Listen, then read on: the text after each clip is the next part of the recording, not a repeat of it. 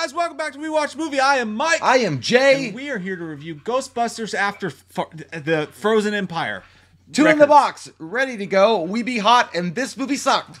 Uh, uh, it didn't suck. Okay, I'm just gonna say that right away. Obviously, I'm wearing a Ghostbuster shirt. I was very excited going to see the movie. Bought it beforehand. Uh, yeah, I did. I went and bought it beforehand. I'm a bandwagon fan. Uh, but no, I went and bought it beforehand. I went to the theater, very excited to see some bust and ghost situations. And what I left with is a bad taste in my mouth from a crackhead back behind the alleyway. What happens. Uh, you know, it was a great experience. It was a learning experience, but not ultimately something that I would ever go back and do again. Uh, this movie, um, well, let's just go ahead and say it. I think we called it earlier on. Uh, it's made for children. This is definitely a kids movie. Yeah. I had fun with certain parts of the film. I think that certain parts of the film were filmed very fun uh, uh, or or very effectively.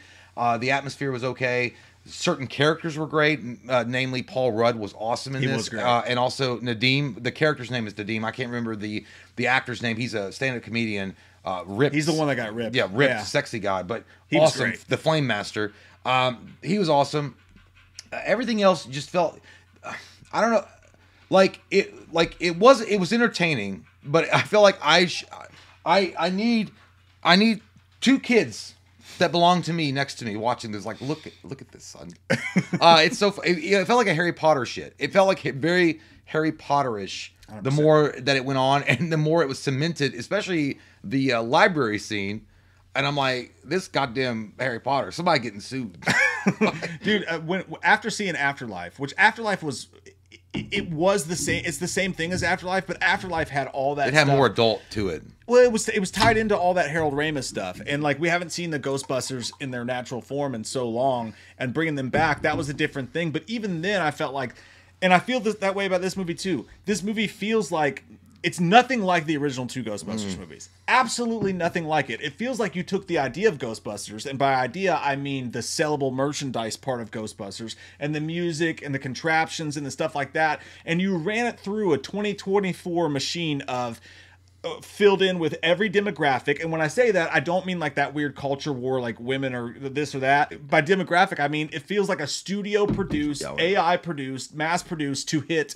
Oh, we're going to target kids. We're going to target adults by bringing back the old people. Yeah. We're meaning to get every single audience member we can in the theater and it's not actually about an original good movie that we're funny movie that we're trying to make and that doesn't make it bad but it's nothing like what ghostbusters 1 and 2 was and the last one got kind of a pass for that I liked Afterlife a lot. it got a pass for that because of all the nostalgia and stuff like that. And this one's like full on Marvel level, just like squeaky clean, just like produced by a computer. I feel like it came out of a bottle. Yeah. Like Well- it's just there's it's not the Ghostbusters, man. Afterlife I liked a lot because I think they did a good job of a send off for Harold Ramis. Yeah. Uh, and I and I and I did get emotionally involved in that movie and I and I did cry at the end. But this movie, um, while Afterlife had some adult scenarios in it that I could relate to, and I could, I could, you know, the, especially the death with Harold Ramis and, and, and that kind of like um, more serious tone. This one wanted to get back, I think, to the basics of what Ghostbusters was all about, was having fun. But it, it's not for. Uh, it's like an adult showing up at Chuck E. Cheese and like smacking kids out of the way so they can play skee ball. Like, you know what I mean? Like, I, I'm trying to fit in, but I can't. Yeah. Because it's not made for us. It's not made for my or our age group anymore. It's not. And that's fine if they're going to take it in that direction. But ultimately, when I was watching it, I was like, man, uh, as much as I love seeing the Ghostbusters on screen and, and hearing the music and stuff, uh, this has gone in a totally different direction away from I think the fan base or the the the majority of the fan base that supported Ghostbusters. Uh, it's better than 20 anything's better than 2016. A fucking uh, hot steaming turd in the summer day is better than 2016. But th- th- it's not you play. Yeah, I. Uh, but um yeah, and you know the, the the cameos by Bill Murray and and Dan Aykroyd and Ernie Hudson. The bad thing and Annie Potts. The, the, bad thing is you saw most of it in the fucking trailer. Again, if they hadn't shown that shit in the trailer, it would have been a really cool surprise to see Bill Murray show up at the firehouse. Yeah. And like do that cool thing where he like hits that's that, that shit was funny, dude. Like Yeah. he hits the wall and the fucking whiskey pops out. He's like, liquid courage? And like I was like, it was like for just a second, I'm like, oh my god, I was transported back to the original 84 Ghostbusters. Yeah.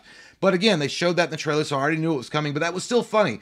Um, this movie, generally, what I what I got from it was uh, it was a really cool spectacle of a lot of flashy lights and spe- uh, and ghostly things that were like obviously uh, heavily relied on CGI.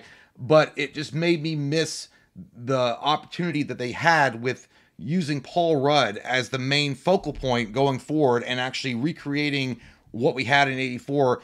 Uh, you could have cast Rudd and the, the character Nadim. I and, and you said it earlier uh, off screen that that's what you thought they were going to do, where they were kind of like setting it up, Yeah. where Grooberson, which is Paul Rudd's character, was going to like. And, and, and Spengler's daughter, like the girl he's dating, we're gonna like take it over with Nadeem coming in, the Flame Master, like rounding it out, and then getting a fourth Ghostbuster. Because listen, Finn Wolfhard, literally pointless. Yeah. pointless. Like The whole was- movie was just like, I'm 18, I'm an adult. And that was it. He was like the fucking kid in American Beauty that just films shit because he thinks it's sexy. like that's all he was. He was just a guy that just stood in the background with a proton Yeah. pack on. Like, is that you? Like, it, dude, I don't like Finn Wolfhard. I think he's great in Stranger Things. He's not great in this. And McKenna Grace. She's a good actress. Don't get me wrong. I think that she did good with the part that she's been given. But at Yeah. the end of the day, I don't. Man, the more I watch this movie, I was like, I missed 84 and and 80 uh 89 Ghostbusters 2 even even, even further. Like, Yeah, well, and that's the thing with with her character. The movie could have been called Phoebe and the Ghostbusters because the Mm-hmm. entire thing is about her. Phoebe the Phoebe. and there's this whole subplot that takes up and honestly the movie's too long you could have got 35 Oh, yeah, to 40 minutes out of this movie and specifically her whole subplot there's this thing between her and another ghost Don't spoil. just yeah no it just goes on and on and on and you're sitting here like this is literally it's not it's so far from what Stupid. ghostbusters It's was stupid. i don't even know what it is and i don't even care it's just so corny and trite and like you, it could have been a CW TV show for that entire storyline, and I don't even know what they were trying to do there, but it didn't really tie into anything as we said before, the villain looked cool as hell in the trailer. Like, and I even heard some people say, "Oh, this movie's scary." What have you? The Buttercream Gang is as scary as this movie These, is, these they're the kind of people that like when it's scary for them is when they miss their Uber ride. which Like, is oh my god, scary. That can be I, scary. it can be scary, but the like wrong it- that's the that's the most fear you've ever had to deal with in your life. Yeah. I missed my Uber. Oh my god, and he's a cool concept. Like the bad Yeah, guys, dude, he was joke. He He's a joke. He's a cool concept. It's so CG. It looks like Steppenwolf from from the damn Justice League movie, like yeah, that kind of stuff. Without without Joss, uh, w- no, the Joss Whedon Justice League. Yeah, and- and you mentioned it before, which is a great freaking point. The bad guys in the first movie, specifically Vigo in the second movie, had so much personality and so much specialness to him. This was literally just pulled out of. They even do the the sky opening up, beam into the sky at one They did point. well, it is yeah. such. It, it is just such a Walmart retread of all these like superhero movies and stuff you see for so much of it, peppered, peppered with little moments of cool Ghostbuster stuff. Salt Bae. yeah. No, I mean, whether we- it, inso- it- it- whether it involves like a, a, a cool new ghost, which some some of those were, there were like some neat new ghosts and stuff like well, that. Well, I like Slimer. Slimer shows up, which was cool. He was great. I love Slimer, but uh, he reminds me of my dog. He's like, "You got Cheetos? Where they at?" Uh, but no, I, I like the whole little subplot with Slimer. I thought that was cool. Uh, I just wish Finn Wolfhard wasn't the main guy in it. Yeah. because I it was like they were trying their best to make him fit in, and it was so stupid. They didn't have room. But, I, but it was like Gale and Scream Six. yeah, like, it just it doesn't kill her off. there's no reason. For Either this. way, um, yeah, you're right. Uh, when I was mentioning uh, Gozer the Gozerian in the first Ghostbusters and Vigo the Carpathian in the second Ghostbusters, they're very unique. They're very different, and they and they work. They work. They're they they are original concepts that work in those individual movies. They took a swing and a miss, which I respect. They tried to do something different outside of Gozer and Vigo, which is cool. You got to try something different, but this one was not it. Like this one, um, and it's so weird because there's so much material that they can draw from in the real Ghostbusters. For example, Nightmare King, like, like the real Ghostbusters, the cartoon came out in the 80s. There were some of those episodes that were fucking scary as a kid when you watched them, and they were wrote in a way that it, like adults could enjoy it too. Those um monsters or those creatures could have worked better in this movie than you know like listen somebody fucking froze me back into egypt and shit and i'm pissed like I, I don't know you know like i'm like it was so forget this movie It was a I had Suicide fun. Squad villain. Yeah, I had fun. I will say I had decent fun watching it, but it's forgettable as fuck. Yeah, well, and that's the thing. Like, it's also it commits a, a movie sin of being boring. Like, Mm-hmm. honestly, there were so many moments in this movie where I was like, "Damn, I am bored right now." Whether we're we're talking about this deep story with McKenna Grace or whatever, there's moments where the Ghostbusters would show up and they would do some cool stuff. But honestly, for most of the movie, they separate even the old ghostbusters they're separate. They're in their own moment. And then finally you know obviously as you expect there there are moments when they come together but it felt like they were like uh, it's silly or like we have to figure out something to do with them. And i won't it's a spoiler so i won't say it but what they end up having the actual old school ghostbusters do is so pointless. Like it's like Yeah. hey well, i'll let you pump the gas. Like you're a big man. I'm gonna let you pump the You're gas an grandpa. old person, and we don't like old people around here. but here's the other thing too. Um, the uh, I, I shouldn't say that because I don't want to spoil anything for you guys. Like I don't, no, I don't know if that's a known fact. But there's another uh, character that that they bring back from the past, and and uh, I, it, I don't know if it's age or if something's wrong with him. I don't know. It just didn't come off in the same way that. Um, well walter peck's in the trailer so we're good Oh, then fuck it. Okay, Walter Peck, the guy, the guy that played Walter Peck, comes back as the mayor of New York, and like they're trying to do, they're trying to recreate the the entire scenario from the first movie where the mayor didn't like them and they were like having to justify what they're doing. I I didn't. Um, it was toothless it was really bad, dude. It was really bad. And but there are moments in it, like, dude, I'm like, if if that if it was just revolving around that character, like um Paul Rudd, like when he was talking about. He's like, yeah. He's like the sewer ghost. We had to, the sewer ghost was like flying through Soho, like it was Middle Earth. that was a good like just too. like the little tiny things. Like, dude, that's the kind of shit I want to see. Yeah. Because Paul Rudd could very well be a Pete Venkman type of uh, character in a new generation of Ghostbusters. Hmm. But again, you guys are like overshooting that and like let's focus in on McKenna Grace and and the Spengler thing. And I get it, I understand. I think it works for Afterlife, but I I would have hoped that at this point we would have graduated from that and maybe taking the reins away from they kind of did that though because they were like oh she's too young she's 16 years old or 15 she can't be a ghostbuster. That- and then paul rudd that was another great line. He was like well we don't pay her. And he's like oh so child labor.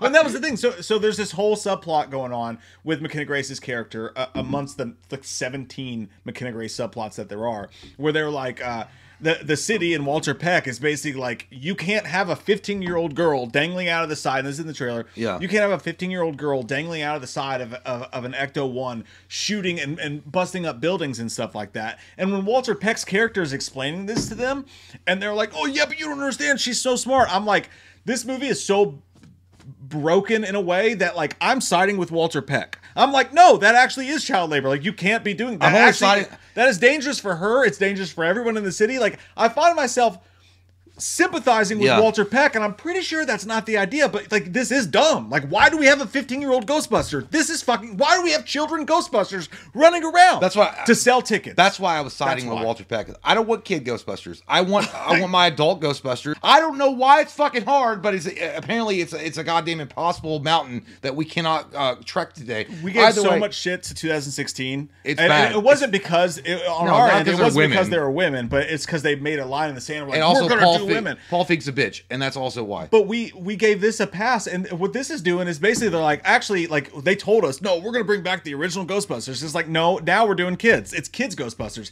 And if you wanted to make a Ghostbusters Junior series and have Yeah. it be like a gateway thing, whatever, like that would be a cool idea. Actually, you know Like, what? I'd be into that. The- the- Take the kids. you're right. Um, what you could do with the plot of this movie is make it a Netflix show, Sure. Like and like have it tie into an actual cinematic Ghostbusters movie. But the point is, is that there is nothing left other than some nostalgia bits, and again, the the equipment that they use, and some of the ghosts are pretty fun. There's nothing left of what the original DNA of Ghostbusters. it's 1 been very diluted, very watered down. It's And it's I- mass produced. I will say there there were some cool like they had the Ghostbusters engineers, which was kind of cool. I kind of like that, but I didn't like the fact that uh, Paul Rudd and family were just living at the ghost house and they didn't know how to fucking really like maintain the equipment. Like that that that, that like it, it goes so far away from like Egon Spengler and Ray Stantz being there. And yeah, they were like nerds, but they they kept their They were equipment. entrepreneurs. In well, they, well, they kept their equipment, and then the, well, the entrepreneur was uh, uh, Peter, and then Winston was like the everyday guy. Like, see, the balance was just so good in the original, but these guys are just like living there rent fucking free, and they don't know how to work the fucking equipment, and they got to have engineers come in and fix their shit. Yeah, I, I just I so thought it was weird. I just thought it was weird. It's like you guys are Ghostbusters now, and you don't even know how to maintain your own fucking equipment. Yeah, and it's it's also underthought and like undercooked. The whole story is, and and also even with Win- with Winston. So like there's a there's a there's a point in the movie where the kid uh, McKenna Grace goes out and like some bad shit happens, and they kind of made Winston an asshole in that scenario. He's like yelling at her. He was like, "Why would Oh, yeah. you do that?" And it's like literally her life was in danger, Winston. Like, why would you? So they, they sort of make Winston an asshole in a moment, and he comes back around at the end. But even then, I was like, Winston doesn't feel like Winston. No. Like he feels like a completely different character. And then obviously Dan Aykroyd was good in the movie, and you could tell But that he kept be he kept smiling, like he was like a fucking grumpy old man. Like he kept going. Mm. When she was like psychokinetic energy, he's like, yeah, Yeah, it, it really felt like, like, we're gonna we're gonna take Grandpa to the concert and we're gonna let him have fun, but we're not gonna take him to the actual. Dude, dude, you know what they missed? Like, Like that, it, it would have got me. It would have made me cry. There was a moment uh, where uh, Ernie Hudson, Winston, and and Dan Aykroyd, Ray were out in the hallway. could've been great. And they were arguing, and he was like, "Because I don't want anything to happen to you, Ray." Because it would have been great. It's like because Egon died or something like you know if they had said like you're my family and you're I don't want anything happening to you. Yeah. You know, he's talking about their golden years. I think that could have been a great fucking moment, and it was ruined by stupid. Yeah. It was just ruined by stupid. I'm like, you guys had something really special to see two original Ghostbusters arguing like they used to back in the original Ghostbusters. They would argue about how excited were, and you know, I was thinking, remember when um, Winston and, and Ray were driving around the city in, in the '84 Ghostbusters, Smoking talking like smoking ciggies, like listen tunes, and they were like, and then and I feel like Ray Winston was trying to say is like. You got you're my family, and and I lost one already. I lost Egon, and Yeah. you guys are all I got left. See, they they left that shit on the floor, and I'm like, man, that could have really emotionally anchored this movie in a way that none of the other parts of the movie had. Yeah, and they just missed it. Instead, it was just a subplot, and you could tell that the movie's just not interested in them. They're doing that. Wouldn't it be cool? Imagine sales. that, dude. The entire movie about them trying to keep doing it, and they can't. Yeah, that that would have been a whole movie in itself. And like, I, and I found myself wondering that too. And again, the the the new character they that brought in, he feels like a Ghostbuster. He's funny as hell. He's he does a really good job. The guy in the trailer who's trying to pawn shit, the ripped comedian now. Oh, Uh, Nadeem. him- Nadeem's the character. Him and Paul Rudd were probably the highlights of the They were movie. great, yeah. they were both so good in the movie. And then a couple moments with the Ghostbusters that came in there. But ultimately, like, What this- I well, let me. I, I don't mean to cut you off, but li- literally, imagine this: Winston reopens the ghost house, right? which is Uh, what they promised us at the end of the last movie, right? And they all come back, and and and I and this this should have been the plot a long time ago, right? They keep on trying to do it, and when the new Ghostbusters are trying to do things, they keep taking over, but maybe their hearts, like you know, they're like Yeah. running out of breath, and they're like, you can't keep doing this, and then they finally have to uh, concede. Yeah. But you could have this whole emotional moment of them passing the torch, really passing the torch, and be like, "You're right," and then you guys have earned this or something. They didn't do any of that stuff. I, they, they, you're right. They just skipped over a lot of plot, and they just invited the old men from the fucking barbecue. Like, you guys could come over here and give a toast. Yeah, we'll give you we'll give you a lever to pull. Yeah. you know, at some point. But like, and that's it. But like, and and again, at the end of the last movie, I, I wasn't the hugest fan of Afterlife, but I got what they did, and it was enough. But at the end of the movie, what really got me excited was the stuff with Winston, and we're gonna open up the firehouse Yeah. again, and we're gonna do all that stuff. And I was like, oh my god, they're gonna do something cool. They never fulfill that promise in this movie. Like they're there, they're in New York, which I will say, Dan Aykroyd has a lot. He has more than I thought he would have in the movie. that's true. He is he is in it more, but like I thought, like it was nice to have them back in New York. I will say that having that setting just fit way better for sure. But like at the same time, down. It just felt watered down. yeah, Everything felt watered it down. was so safe and it was so like yeah, it was it was like a CW show for most of it. But like I, I really again the ghosts were good. Um, the movie's not a terrible movie. Not the main ghost. Uh, no, no, but like the side ghost and the extra stuff they did with that, there's some cool ideas and they never flesh them out. So the movie's decent, like it's watchable. It's about 40 minutes too long, and they focus on McKenna Grace for the entire thing and some dumb shit that I'm really not interested in. But again, I guess it's not made for us. But again, also Ghostbusters, it wasn't made for kids when it came out, but it was. was. it was everyone loved it. Kids loved it because it was just so good. It wasn't because it was built for kids. Yeah. So I really don't understand this version that we're doing. Some of it felt like a toy commercial. Like it, Yeah. it felt like they're trying to like they even bring in um the Ecto C, which was cool to see. Don't get me wrong, but the Ecto C is is, is from the cartoon, which is the motorcycle buggy thing. Yeah. that's from the cartoon. That literally sold off the shelves in the '80s as a cartoon expansion. But yeah, I, like I, I feel like ultimately, man, I I, I um I give the movie a six five. Uh, to be fair, and I mean, yeah, it like I will I will consider this canon. I will move from Ghostbusters one to Afterlife and this, and that's fine. It feels like a continuation, a poor continuation. 2016 is terrible. Like it literally just says "fuck you" to everything about the history of Ghostbusters. At least this one tried, but it is a hundred percent apparent that it is not made for people that grew up with Ghostbusters. Yeah. it is made for a new generation of children to, and that's great, cool, And it's fine for that, But, but that, yeah. but yeah, you could have, you could have, this could have been produced by fucking Disney, and like, and that would have been fine. Yeah. Uh, that's that's the exact way I put it too. I give it a 5.5. I think it's barely above average. I think as a movie, even watching it like with no Ghostbusters ties to it, I'm like, there's some fun stuff in this, and there's some cute monsters, and there and there's some there's some There's really some moments though. There's some moments like, man, it could have been so good. Yeah, and I, I do love seeing the old Ghostbusters, and Paul Rudd's funny as hell. And I actually I did I did get a little bit emotional when he's dealing with the stepdad stuff that he's going through. That was You cool. Yeah, where when he's coming well, the the the the, the, uh, the dad thing. yeah, yeah, that like, was cool, That yeah. stuff was pretty good. Like they did a decent job with that. But it's But I was like, it's not. It, but it doesn't belong in the fucking movie. It just doesn't feel. It's the wrong kind of movie to do it in. and it, it- they don't spend enough time on any one thing to actually nail anyone out. Even Well- that aspect, they didn't nail it. It was just it just because Paul Rudd's so good, it worked. and again, McKenna Grace is a, is a fine actress. She's not. There's other. But I'm more interested in in uh, Grooberson, in